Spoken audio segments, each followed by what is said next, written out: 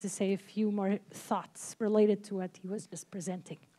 No, okay, so um, no, because we, we were discussing uh, some issues uh, related to communication, and I think, uh, and I think it's important that this uh, subject uh, comes up also at a certain moment of the school. So the point is, uh, one thing that we learned with COVID-19 is the importance of communicating science to the larger public and to decision makers. And that poses challenges to everybody that uh, is involved in, in doing science uh, related to the epidemics. One thing is, uh, it is not uh, just, uh, I mean, obviously, uh, if you talk to people that are not scientists, you have to be communicating in a, in a simple way but then the challenge is to communicate in a simple way, but uh, not, uh, uh, not forgetting to talk about essential things. And um, one point, which is very important, I think, is uh, have scientists in general, let's say people that do modeling, okay, for uh, uh, be, uh, be good communicators or have they always been um, uh, clear or because the point is I think in this course you have been convinced that we can't just, uh, there are lots of things, lots of questions that people would like to have to answer, like uh, how many cases will we have in a, in, in a month or something like that which, which cannot be actually answered or have to be answered with a large uncertainty associated, which has to communi be communicated together, together with the result. But in practice, what happens? For instance, uh, just to say um, things that happened uh, with my group. So uh, typically in, in, uh, in 2020, I would receive a, a, a, call from, from, from journalists uh, asking, uh, when is the next peak? And then you say, okay, there are no data and there are no elements that allow us to make this kind of prediction. So I want, then, then there's also that you, are, you, you get used to kind of media training, like, right, because the people will insist and then uh, uh, you, you have to be very clear at what you want, say a date. Because if, even if you say maybe in two months, next day you get in the journal in two months. Okay? You have to be really, I mean, say, I won't say a date. Okay? And the point is, then this journalist probably called other people. And then there are people that are newcomers that are just starting to work with epidemics. And they made a simple calculation and, and, and, uh, and have a prediction that the peak will be in one month. So the journalist sometimes cannot distinguish between the group that has some some uh, uh, experience and uh, has has worked on epidemic modeling and so on, and just newcomers that don't even know the amount of things they ignore. And uh, what happens is that this person will answer, and the newspaper will, or the TV will show the guy and so on. Roberto doesn't know, but this guy knows. and then you have a real problem for science communication because there's always somebody willing to answer because people like to be in the, in the, in the spotlight, willing to, to answer questions, and they, they do not have the expertise to answer, but this is not clear most of the time for people from the media. And even for decision makers, which is incredible. But if you want, uh, uh, even the Secretary for Health at the city or the state of Sao Paulo doesn't know exactly whom he should actually hear. So this poses a, a, a very difficult point about the responsibility of, of, of communicating science in the sense that uh, you, you should really only talk about what you know. And second, it would be very important that communication becomes more institutional in this case. For instance, uh, I was talking to, to Ana, and like, like, in Germany. In Germany, there's this big institute of public health, that's the Robert Koch Institute. And uh, every week, the Minister for Health would sit together at a press conference with the head of the Robert Koch Institute. And this means uh, the Robert Koch Institute is, is regarded as, as a reference. The Minister uh, for Health cannot just say, I don't care about the Robert Koch Institute, okay? So this is not the option for them. It's not a political option. But it means also that the person that is speaking has the legitimacy to speak in name of a certain scientific consensus of the day. So what happened actually, um, I, I, can speak more about Brazil, but I think that happened also in, in other countries, was a lot of people communicated science uh, without knowing exactly what they were saying. And this is very important for scientists to, to, to know. And then, obviously, also another question related to science communication is, is when, how to interface scientific uh, results with decision makers. And this is also much more complicated than we can think in the first uh, moment. For instance, what happened here in Sao Paulo, in the state of Sao Paulo? Who are the persons that talked to decision makers, the Secretary of Health or the governor. These were not scientists. The, the people that talked to them actually people from companies which do consultancy, Consul big international consultancy companies.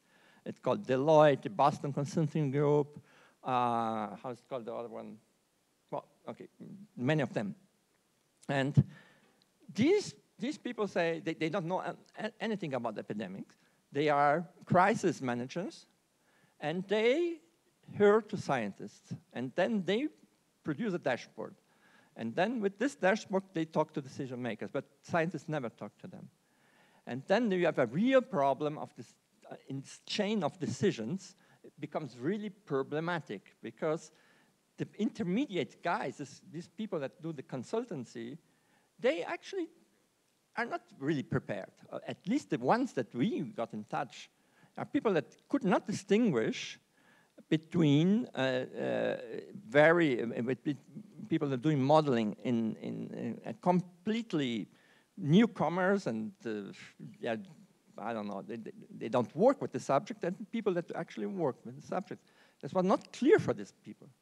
So this is also, I think that has to be discussed is the state, in this case, the Ministry of Health or the Secretary of Health of the state, they need to have a body of, of employees of high scientific, well-trained scientific people in order to be able to talk to people that are researchers.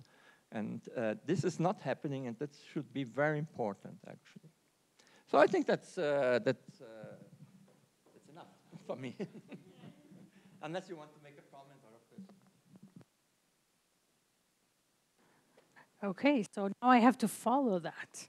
Um, so as you guys know, this is the final uh, lecture of your wonderful course. I hope you're having a, a, good time, but most importantly, I hope that you leave here energized to learn more, which is basically what we really want to. So um, the course organizers uh, asked me if the final lecture could be uh, a little bit more forward-looking about you know, um, what it is to really be prepared for a pandemic. Um, and I, I, really don't know how to answer that, so I try to answer it the best way that I can by doing a little bit of a retrospective of the kinds of works my group did from the beginning of the pandemic. Uh, but the take home is a bit of a follow up from Roberto's lecture, which is focusing on the question. So what is the question that you're on to answer? Uh, what are the data that you have available? Uh, and then only then you start thinking about what kinds of models would potentially be appropriate to attempt at answering the question. So a lot of the work actually spends on question formulation, and we'll, we'll go a little bit about, about that. So it's going to be a mix of technical and philosophical uh, modeling today. So I hope it's still interesting as a, as a wrap up. So let's see. For some, ooh. Okay. Ah, perfect. So this is a very grim reality, but uh, there's about on average 200 epidemics a year. Uh, obviously, not all of them uh, turn into pandemics, but the reality is that um, more and more every year, there's a potential for a new pandemic to occur because of several things, like we're more connected uh, globally. Um, there's, of course, climate change, land use change. Um, the population is growing at a rate that has never seen before.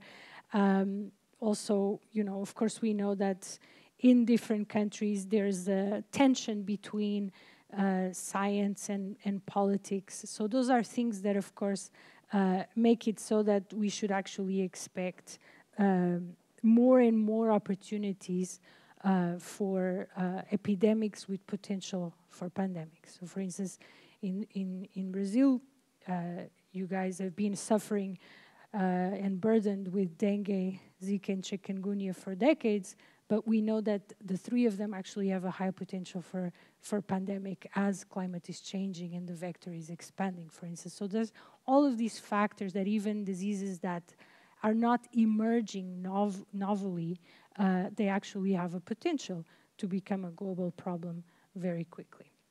So here is just a, a little review of, of some of the pandemics throughout the years. So uh, we have the, the swine influenza in, in 2009. Um, that uh, actually originated in Mexico. Uh, and at the time, it was actually very surprising that it actually started in Mexico because most of the world was looking uh, at Asian countries as a potential for zoonosis given the previous experiences, and of course in Africa. So it, it's really kind of a reminder. This photo is, is more so for you guys to go back when the, when the slides are uploaded and you go home to really think about the global distribution of the potential of zoonotic diseases and how it's actually spread throughout uh, and the, the different factors that might actually lead to these episodes becoming uh, a problem. So that's something I just really wanted you guys to, to have in your mind that um, preparedness doesn't really start only when the first case starts in humans, but rather thinking about what are the conditions that lead for something to actually become a problem. So that leads me to a bit a big chunk of, of the lecture today, which is about data, the timing and curation of these data. So uh, thinking about how some data are important throughout, uh, but some other data are actually only important at different timings uh, of, of, a, of, an epidemic. So uh, thinking about, uh, so this is a way, of course, of linearizing the problem because when in fact this is, of course, not a, a linear timeline, but thinking about uh, what time zero really is if you're thinking about if you're an ecologist or a, a, a, field biologist, your time zero of surveillance is actually environmental uh, circulation of pathogens or in wildlife, uh, and really that, that is your time zero. But if you're thinking about uh, people in this room, mostly um, we're really thinking about that our time zero probably is when we start first start uh, surveilling cases in the human population, right? So that in itself becomes already a first obstacle is defining of what time zero is uh, and how potentially we might be um, best thinking about how to integrate surveillance in wildlife and environment and when things uh, actually start in a, in an epidemic uh, in a human population in this case. So then what that means is that at different times uh, in this in this case, linear timeline, of course, we actually know that this is a, a, much more complex situation. What kinds of data can we actually collect uh, and what kinds of methods can be done to, can be developed to actually uh, eventually integrate or triangulate these data uh, to really, uh, at each step, information informing the follow, following step. And of course, we know that once it reaches humans, it can actually go back uh, into uh, wildlife and just keep having this spillover, spillback effect because populations are actually all connected. So there are some data streams that, of course, are considered perhaps the main actors if this was a movie right? So if this was, uh, you know, a, a, movie you watch in Netflix uh, after this course, you can think about uh, genomic surveillance data as your main actor, right, or main actress. These data are uh, actually informative throughout. But as you'll see by some of my examples, there are data, uh, particularly when we're thinking about uh, once an epidemic reaches a human population, that are only useful at particular times. Uh, so these are the best friends of our main actors, right? They show up in some scenes, but then they go away, and they might come back uh, at the end. So these are things like uh, Google Trends or social media data that are actually really important uh, at the beginning of an epidemic when we don't know a lot about biological traits of the pathogen, and we don't have a way of testing individuals uh, to confirm whether uh, they have been infected or not. So there are data streams that are very useful uh, in an opportunistic way, but their usefulness actually is ephemeral, and it becomes uh, quite um, noisy after a while. So that's also something to take into account. And in each example, I will tell you how timely the data were uh, and whether they became useful or useless uh, at, a, at, a, particular time. So that's really the, the main idea here is thinking about what's time zero, how can you incorporate data streams that are perhaps not always obviously related to the problem at hand, uh, and really thinking about how decisions uh, and models that are particularly focusing on a particular part of your system might actually affect for forward transmission and, and leakage into, into other populations. So I think this is a summary perhaps of uh, concepts that Joshua may have talked about this morning, which is transmission of infectious diseases is of course heterogeneous. We know this because uh, individuals are different, either in their susceptibility, vulnerability, uh, in their connection with other individuals, but most importantly, as well, thinking about the population level, we know that some populations, um, because of their demographic or socioeconomic composition, uh, or even their age distribution, uh, end up suffering uh, or not suffering as much, um, depending on, on the kinds of populations they are. Uh, we also know that spatial structure is important, so how connected a particular population is, uh, or how isolated a particular population is. And we've seen that uh, not only with COVID, but of course with many other uh, infectious diseases in the past.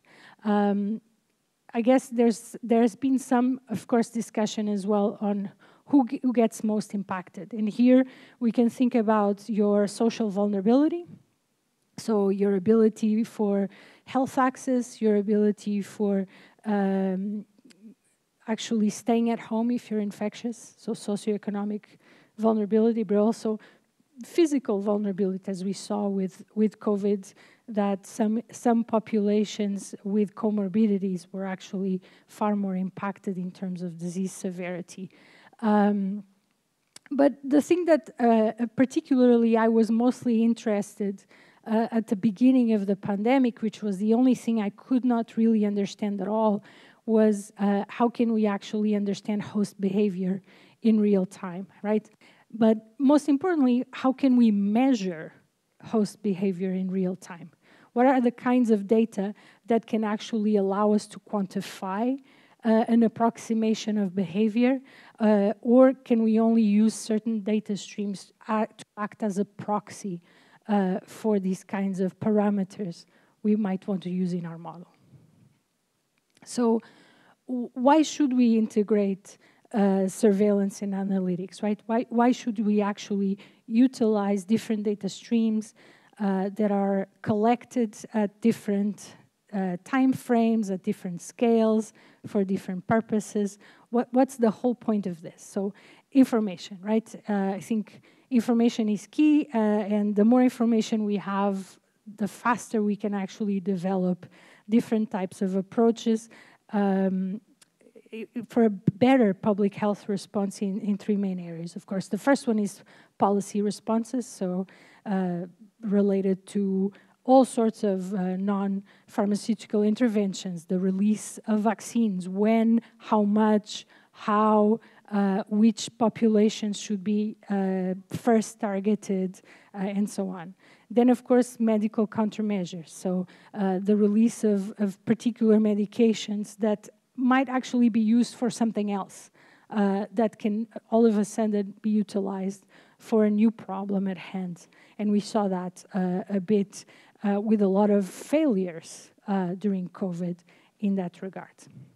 And then finally, of course, individualized care. So understanding that there are certain types of data streams that can actually allow for almost personalized medicine or uh, something that has failed spectacularly, personalized public health, uh, which is still something that we can't really do just yet. Uh, but really is, is really trying to understand how we can integrate uh, different data streams to really track the spread and evolution of novel pathogens, but also existing pathogens to really have a, a nimble and a faster response. So this is kind of like the way my, my lab works um, is really understanding that transmission occurs at different temporal and spatial scales. And depending on the question, we'll be we would focus on the pathogen on the host movement, on immunity, uh, or other factors depending on the question. But really understanding that you need to embrace complexity across scales uh, to really start uh, addressing problems, particularly in an epidemic setting where things are developing fast uh, and uh, where every step actually affects uh, the continuation of an epidemic. So I'm going to divide the work that we did uh, in several stages. So it's going to be detecting, monitoring, uh, understanding, uh, and then designing strategies, and finally prediction. So I'm going to walk you through different projects that pertain to different uh, questions that we ask in this. So because um, all of this work is going to be focusing on COVID, uh, we start with detecting. So this is early work um, that started uh, on January 2nd, 2020. Uh, that was first commissioned by the World Health Organization. I was, I was asked to join a technical advisory group. Um, and the mandate uh, was really to, for us to start having ideas surrounding uh, when should we uh, close borders? Should we close borders? Is it a futile exercise? Is there a right timing for it? Or are we all doomed? So, those were the first mandate questions we had uh, for the technical advisory group. So, the way that we kind of dissected the question was kind of when did SARS CoV 2 arrive in a given country? That was the first question. And the second question is can we actually um, quantify uh, and identify who exported what to where? Right? So the, the source country, the sink country, and can we actually estimate that over time? So today I'm not going to be focusing a lot on the math uh, for several reasons. First, because this is the last lecture and you guys look a little bit tired. Um, but uh, all of these papers are on the folder that's going to be shared with you. And then, of course, after this course, if you need to talk to me for details, we are, I'm absolutely available. So we start with a question, right? When did SARS-CoV-2 arrive in a particular country? And then the second question was, who exported the most and when? Like, did that change over time? So the data that we had at the beginning uh, of, of, what was not even called a pandemic uh, were genomic surveillance data uh, that started uh, popping up. And of course, we had uh, case reports that also started trickling at different rates and at different times for, for every country. And then um, we started thinking, what other data streams can we actually utilize opportunistically that can augment our ability to estimate if something is already in a given country uh, and how connected countries are with each other. So because we had some experience with mobility data, uh, we purchased flight data um, that would give us the number of individuals traveling from uh, a country to another every day.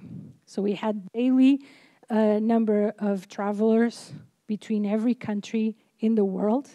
So we had at least an, uh, an opportunity to build a matrix of connections between countries, right? So the underlying data stream of this, of this model was really how connected each country was with everywhere else. So with the genomic surveillance data, which is not shown here in the methodology, we used uh, phylogenomic techniques to calculate the molecular clock. And that's a little bit beyond what you guys have been focusing today and this week, but really it allows us to understand how fast uh, something was spreading. It was also allowed to understand if it was evolving fast enough and also allow us to estimate timing of arrival in a given country. It also allowed us at the time to also understand that it really had started in China uh, around September, October uh, of the previous year and how it had started being spread. Uh, so because this model uh, was commissioned for the World Health Organization, uh, it was a service model, so we were actually not uh, we were not allowed to publish it until now, actually, these many years later. So the, the question at hand was how connected populations are to each other. So because the question was about connection, we knew that the model needed to be spatial uh, explicitly, right? So we needed to build a meta-population style model uh, which is in many words to say that we model at the population level and then we use the flight data to uh, connect the strength uh, between countries. Because we had data on genomic surveillance and we had reporting data um, with a transmission model at the population level, uh, we had uh, uh, SEIR, L here is for latent, which is the same as um, exposed. So we had uh, susceptible, latent, uh, asymptomatic, symptomatic, and then we had uh, the D compartment. Uh, it's not really a transmission compartment, but it was a reporting compartment because we knew reporting was a huge issue at the time. So we were tracking reported cases to then fit those reported cases to the actual data that was being reported. So this was uh, to answer a question on my first lecture, a way to validate uh, our model uh, in that sense. And of course, we were tracking recovered as well. So we had a transmission model like the ones that Joshua uh, and Roberto have been explaining to you guys, that of course has force of infection, has uh, incubation, uh, has um, our recovery rates, and so like the the model itself is fairly simple uh, at the population level. It's really just tracking the flow uh, between individuals. In this format uh, is shown um, as a, a, a, discrete time model, not because I don't like differential equations. You'll see that I've used differential equations in other forms, uh, but because this model was then um, uh, developed as a stochastic simulation, of course, this is the better way uh, to show how, how the model is constructed. Um, and so the reason why the model was stochastic, uh, particularly for this question as well, uh, was because uh, at the introduction of a novel pathogen, um, the, the system is stochastic, right? There, there's a, a, probability of something arriving to a given place. It doesn't follow a deterministic path. And so it's very important to add that probabilistic sense uh, of arrival and spread uh, in a population.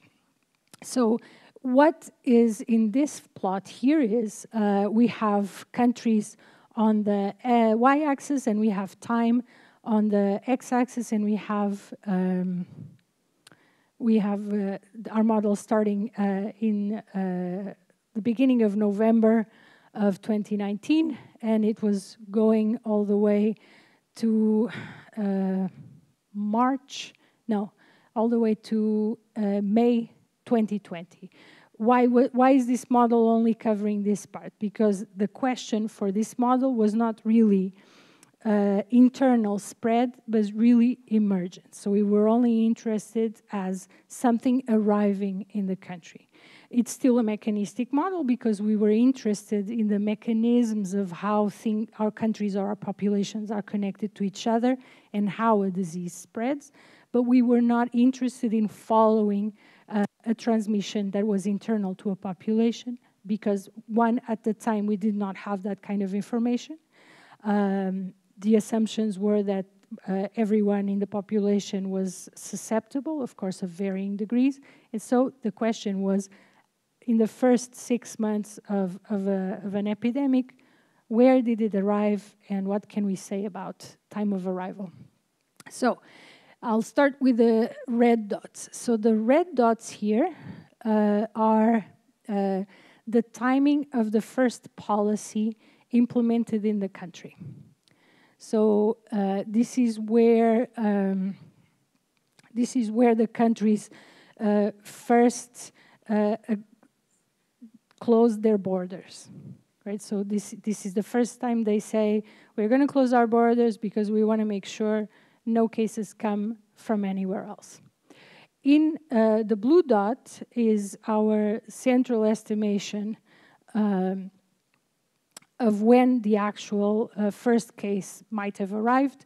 And because this stochastic model, uh, it has uh, a confidence interval here, uh, because obviously these are models that deal with uncertainty, right? So uh, we have the arrival time, and you'll see that um, given the information that we had for our meta population and how connected countries were, uh, the estimated arrival time was fairly different, uh, but it was on average uh, about two weeks uh, between you know start and start in one place and, and another. So in general, by January, uh, between January 1st and February 1st, there were cases everywhere in the world. Uh, we're not showing all of the countries here, but we're basically modeling the whole world. Uh, and we were estimating that it had arrived everywhere, even though it hadn't been um, reported everywhere. Of course, the closer countries were with China, and by closer, I don't necessarily mean geographically closer, but uh, mobility closer, right? The faster uh, cases arrived in a country. So now this is the part that it's kind of cool uh, in, in a perverse way. So I'm telling you that our estimation for the actual arrival date uh, is between more or less January, um, January 1st and February 1st, of course, with some potentially a, a little bit sooner. But in green are the dates, and normally they are start in March. In greens are the dates uh, of the first reported case in every, in every country. So you see that on average, uh, there was about a month, a month and a half of delay between the estimation of arrival and the actual reporting.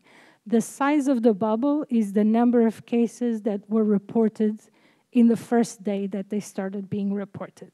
So already that is, of course, an indication that, uh, well, several things. It's an indication of how good the country is at reporting, of course, but also it's an indication of perhaps the problem did not start that day, but rather a few weeks prior.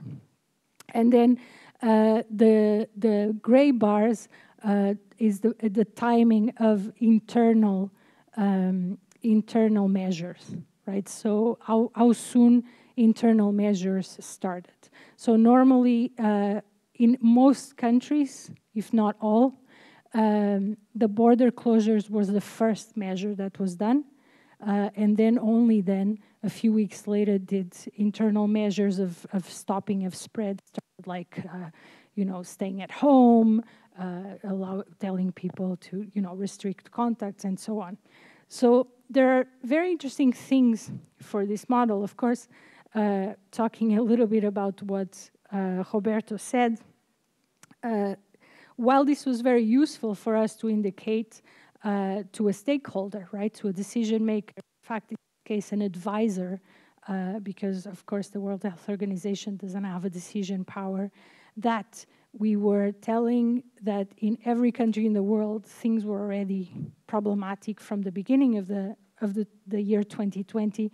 Uh, we could see that regardless of that situation, two things were happening. Countries were uh, restricting their borders uh, more or less at the same time, regardless of their awareness uh, of when they thought cases were in their country. So this started to ask, like, making us ask questions about collective behavior, right? So this idea that I will do what my neighbor is doing, not necessarily as a retaliation, but really because if they're doing, maybe something I should be doing. So that was actually very useful for a lot of countries, right? That allowed for some countries to um, start acting a lot sooner than they actually thought they were uh, but for other countries was, of course, too late. So the next question that we were asked by the by the, the technical advisory group was, yeah. Oh, sorry.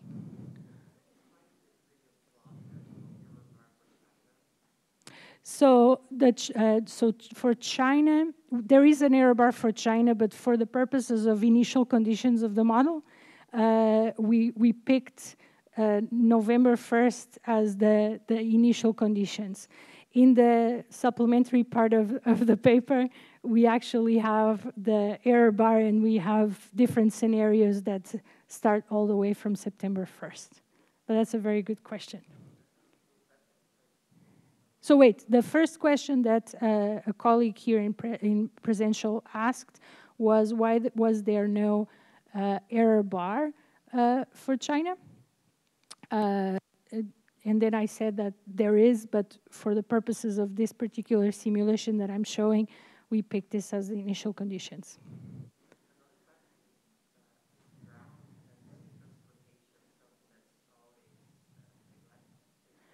No, so we we were using uh, at the beginning we were because we're not interested uh, well, we were interested, but because we were mostly focused on between country movement in that small part of like part of the of the year, right? We were focusing on uh, flight transport, like air transportation, because it was the easiest uh, data to to get. So uh, further um, in the slides for the American example, I'll, like, I'll actually show you a model for which we used. Um, trucks uh, routes and ground transportation and flights. So uh, it's a question of, again, as I was saying earlier, so the question was, why was just flight data and not ground data and other types of movement? So the, the, the main thing in an epidemic setting as well is understanding that are data that are very difficult to get immediately. And you have to make compromises and assumptions, right? So the assumption was uh, at the global scale, uh, flight data would be data that would capture movement, global movement, uh, to get at the minutiae of uh, municipalities or states that, for instance, are border states between countries. Of course, those data would have been precious and really, really useful, right? Um, but at the time was simply not a possibility because we were, you know, we had deadlines. Every week we had to show uh, a different result. Um, but that's actually a very, a very uh, astute question as well. Any more questions? Okay, so I'll, I'll continue. So the next question that we, we were using this model for uh, was to, because it was related to border closures, was where are the cases arriving from, uh, from December all the way to April. So here the colors depict a country. So you see that in December 2019, uh, cases were exported uh, from China to everywhere in the world. Uh, but as uh, time went by, so we went from December to January to February. So by February uh, 4, China closed their borders, right? So by uh, by February 5th, 6th, there was really no more uh, exporting of cases from China to the rest of the world. And because, of course, the outbreak in Italy had already started, and it was actually uh, at the same time as Carnival, uh, which we all know and love.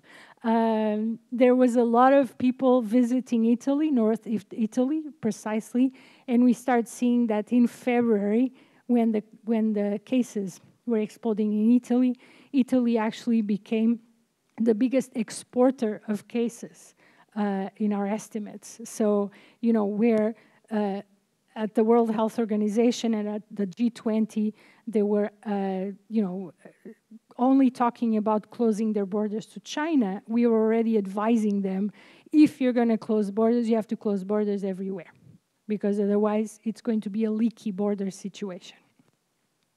So then, of course, Italy exploded, they closed their borders, uh, and then by March and April, uh, not surprisingly, uh, the only country that really did not have borders closed but was really not allowing anyone to come in was the US.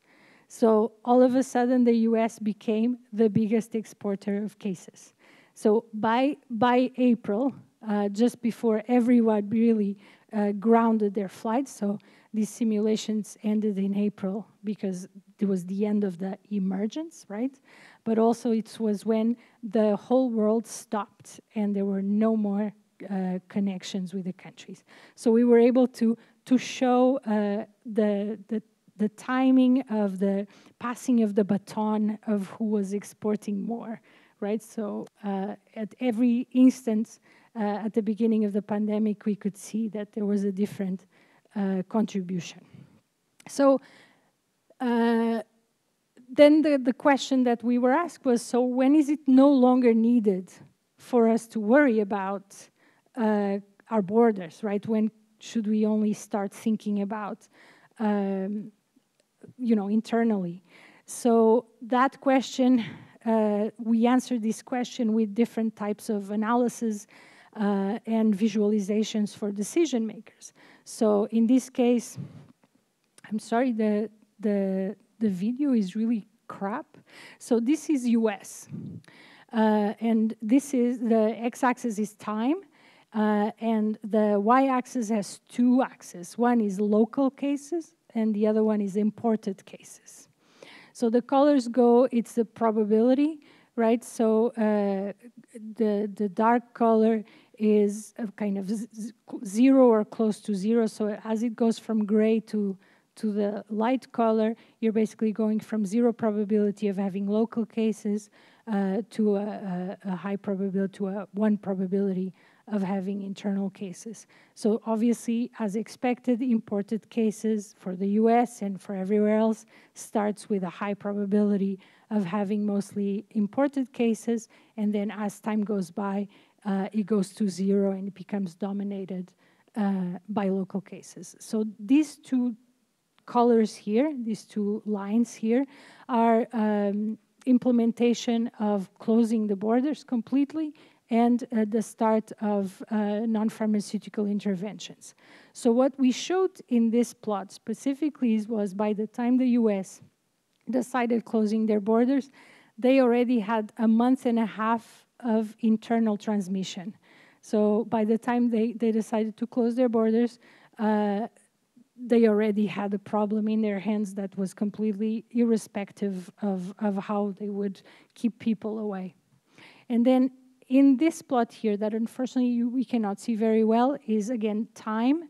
Uh, and on the top is the major contributions uh, of different countries to the country, right? So uh, it starts with China, of course, then it's Italy, as we saw before, but then it's really driven by the connections each country has, right?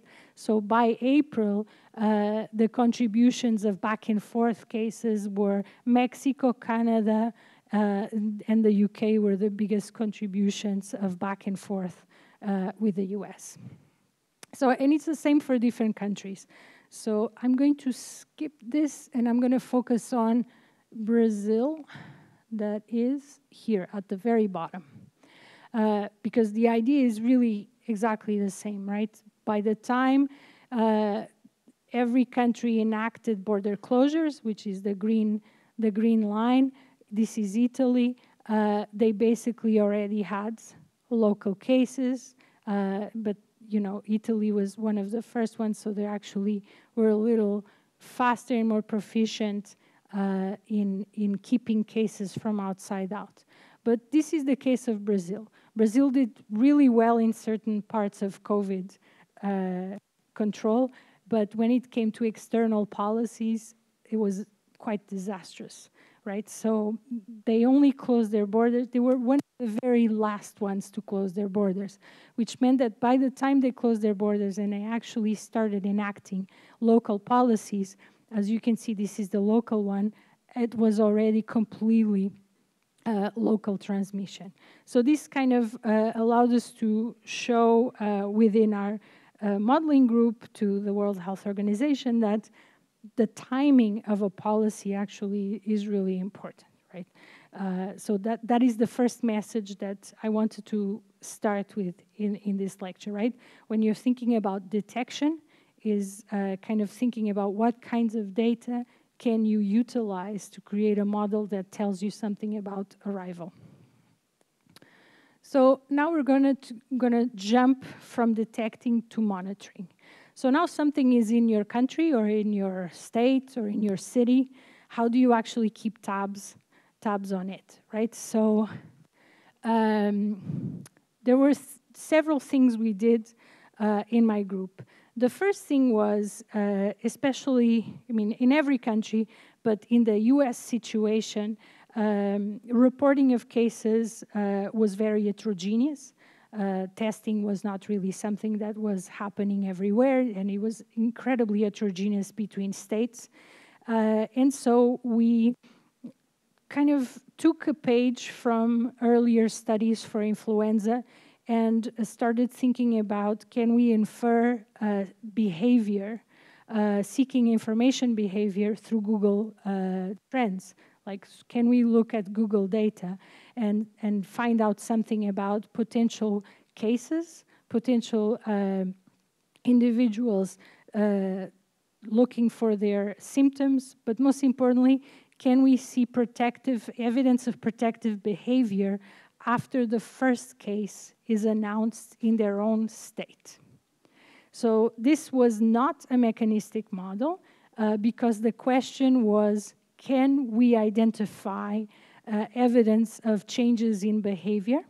So, of course, the methodology that was most appropriate for this case was a statistical model uh, that was looking at uh, changes in time. So we were identifying time zero, and time zero for us uh, was the first case reported uh, in, in, that, in that state uh, or in a neighboring state. To, in this case, I'm only showing you the results for a model at the state level um, for, for notifications in their own state. And then using a Poisson model, uh, which I already put the paper uh, in the folder, so you can really go into the details of the model. Um, we were evaluating if there were significant changes uh, in the Google Trends um, dynamics in regards to, in this case, uh, searches for the word co uh, coronavirus. So we were looking to see if people were uh, dramatically changing uh, their search for coronaviruses. So from the big, so this is uh, first case in general in the U.S. Of course, this is a, a model that is for all states. Um, so where I is for state. Um, the idea is that we were able to show that in the next five days, there was a significant peak of searches of people like, what is coronavirus? They wanted to understand what it was. Uh, but that behavior was searching behavior, right? Can I know what COVID is?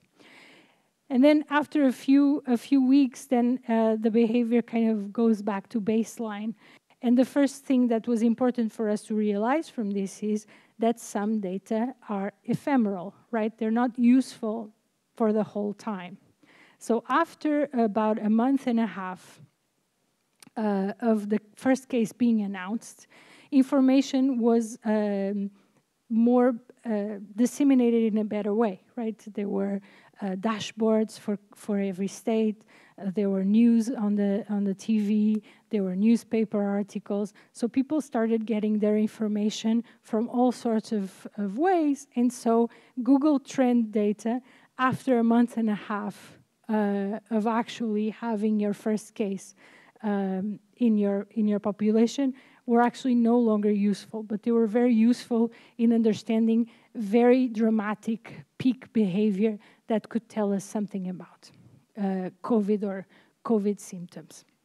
So, of course, we didn't search just for the word coronaviruses. We had a whole dictionary uh, of, of different things that ranged from symptoms all the way to uh, kind of protective measures such as quarantine, uh, sanitizer, testing, uh, and of course, we went all the way to uh, conspiracy theories, right? Yeah. Yes, so yes, of course. So the y-axis. Uh, so we have. It's an event. It's an event study.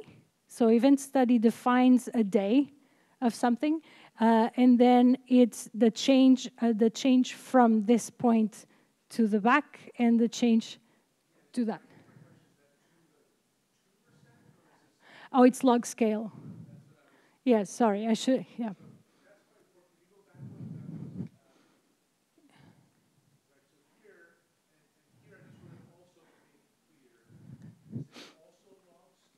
Yes. Magn very dramatic changes. Yes. Ah, yes. Oh, a good point. I, I forgot to say that.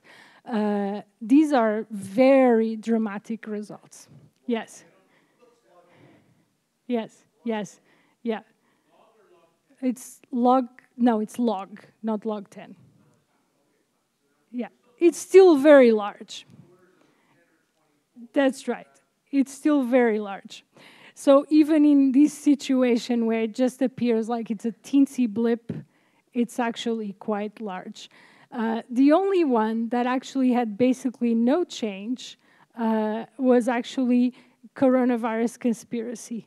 So people from the very beginning uh, were really kind of searching that, you know, for words like hoax, conspiracy, um, and all sorts of kind of uh, bad fake news type of situation. This is for the US only, yes. Um, this was the first paper we published uh, in March 2020. So um, this is not analysis per se, but is data collection. So when, because at the time I was based uh, in the state of Indiana, uh, this is kind of to follow up on something Roberto was saying about, you know, the difference between reporting for papers versus uh, service to your community, right? So uh, my team developed a dashboard for the state of Indiana that um, is is a is a state in the middle of the country, right? And it's uh, not a very wealthy state, and most importantly, uh, has very different communities uh, between you know the, the, the city, so the capital of the state, Indianapolis, and then as you go to rural areas. So the urban areas are areas that have a lot of immigrants and um, different population groups, whereas in the rural areas is mostly uh, elderly Americans, white Americans, and so the populations were actually very different. So we were asked to develop a dashboard that was at the uh, county state, which is an equivalent to a municipality uh, in Brazil, and we were tracking number of cases, number of deaths, hospitalizations, uh, and we used a, a, model to then, of course, estimate recovery and, susceptible and infections uh, throughout the period. And this is actually still ongoing um, in 2023, but of course, information is, is a lot slower now. So we were capturing all sorts of different data streams, and then by ethnicity, uh, looking at the different uh, groups from white Americans, black Americans, other nationalities, Asian, uh, and uh, of course indigenous populations as well. So we were really tracking every aspect of the population uh, for all sorts of uh, parameters we were interested in. So cases, hospitalizations, deaths, to really start understanding whether there was um, a lot of disparity uh, within the state. And of course, we were able to show that uh, to the government, to the governor of Indiana, and a lot of local policies were enacted uh, for that. So that's the only thing I want to say about that. So the next subject matter uh, for this is understanding.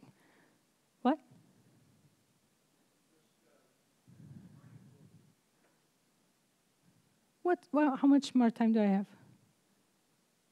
What time is it? Oh, it's five o'clock. Oh, fuck. Um, oh, beep. Uh, oh, I blame Roberto. Um, all right, so I'm going to go faster, but I'll tell you. Uh, so I'll tell you about the questions and the models, and then I'm going to expect that you guys go over the papers and you have my email, and I will be available for any question, including the people online. You are more than welcome to contact me. So I'm going to go fast now. So the the uh, the question for understanding was based in the U.S. We had a question from the Office of Science and Technology.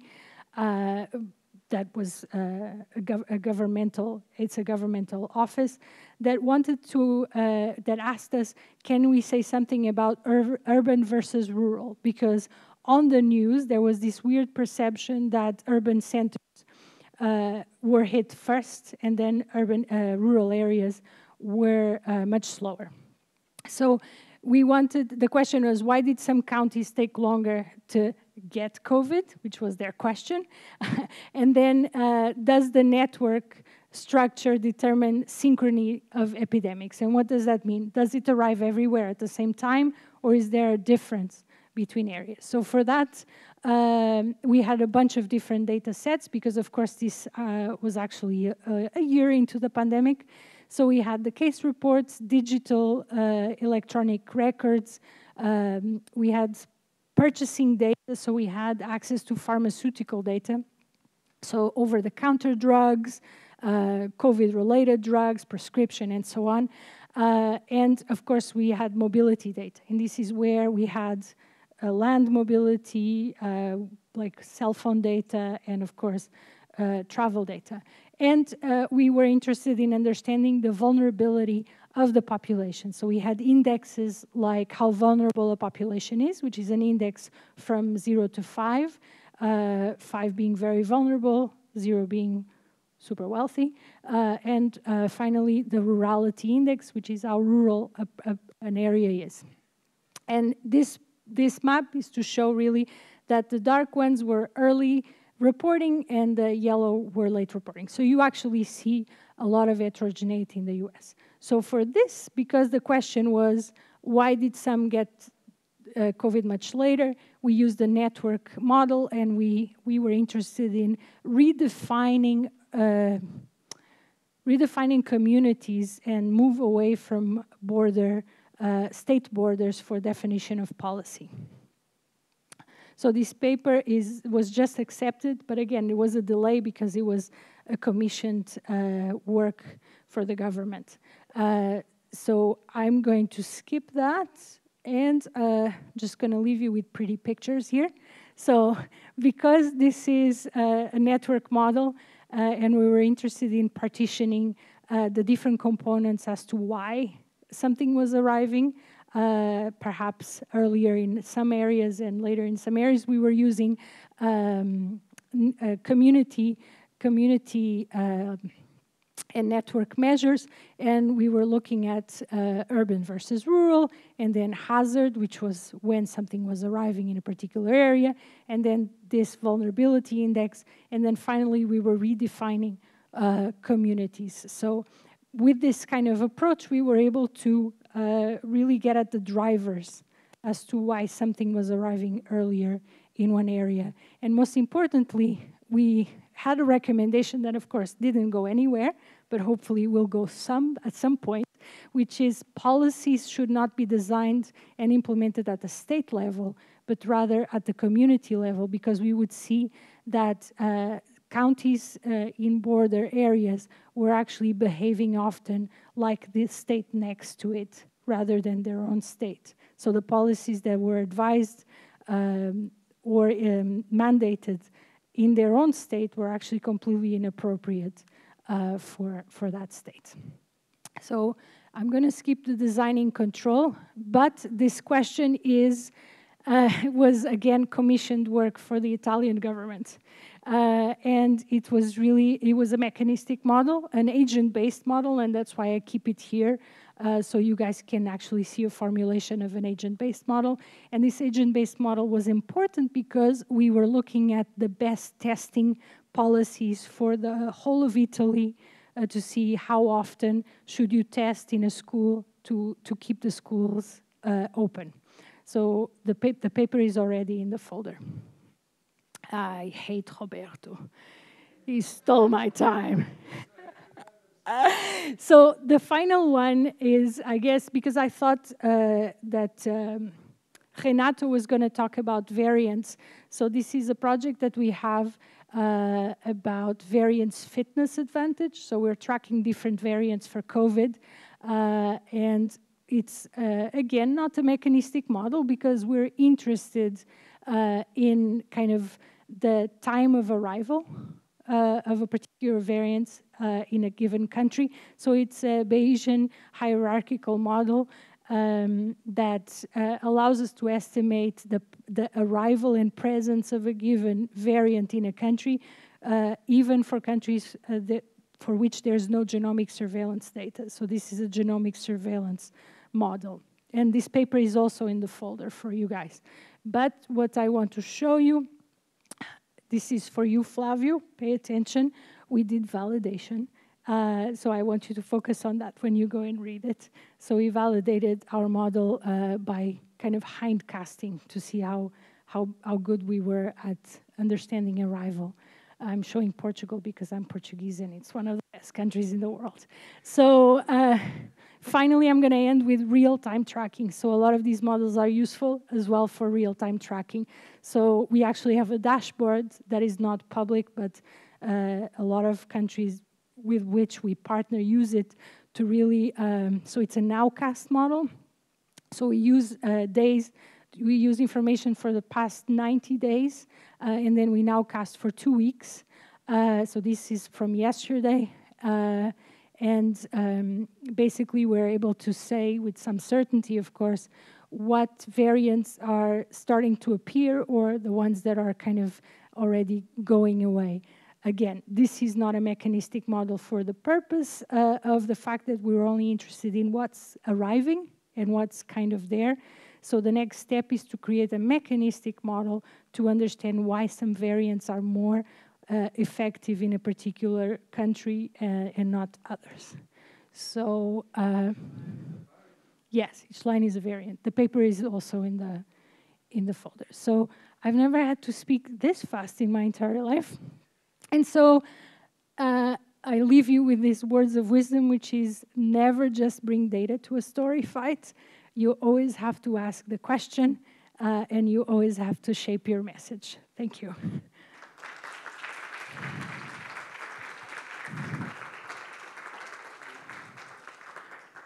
And uh, do you want to give the final words? That's right. So we are truly at time, and I know people probably would like to ask Ana questions, but since we uh, advertised this to, to go to five, maybe if Ana could stick around for a few minutes, uh, then people could follow up with some questions. But if people need to leave, I get it. And just one last comment you just got a note from Elisa Pomari with the survey link. Uh, my general sense of these surveys, if you don't do it like today, not to say